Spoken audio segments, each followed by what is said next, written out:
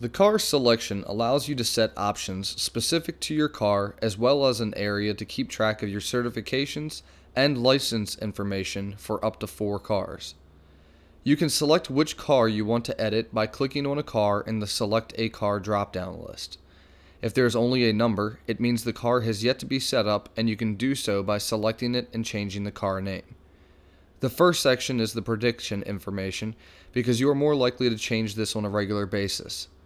You can easily change your track length and your default prediction formula.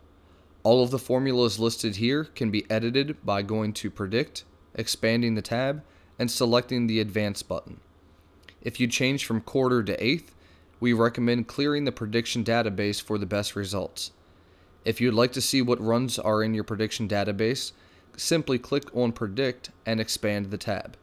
There you should see a table of all the runs in your database. In the Setup Info section, the first option is car name and can be anything from your car number with or without the hashtag or a word like Camaro or Dragster. This name is what will be displayed on the car drop down in the top left corner and on the Predict tab names, so try not to make it too long. Next is the fuel type. This is primarily used in our different ET prediction methods, and if for some reason you don't see your fuel type, feel free to reach out to us and we can add it. The logbook color is an extremely important and useful feature. You'll notice at the top of each widget the background is the same color as the one selected. And if you have runs in your logbook, you'll notice the same color runs along the top of the logbook every time. The idea is to assign each car a unique color so you can instantly recognize whether you are looking at your car or a teammate's. The logbook view and add run are where we decide what order we want our variables to be in.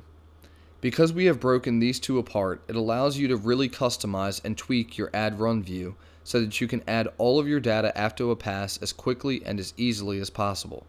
And we recognize that we want to have a lot of different options for viewing our logbook data. We can have a view that focuses specifically on launch.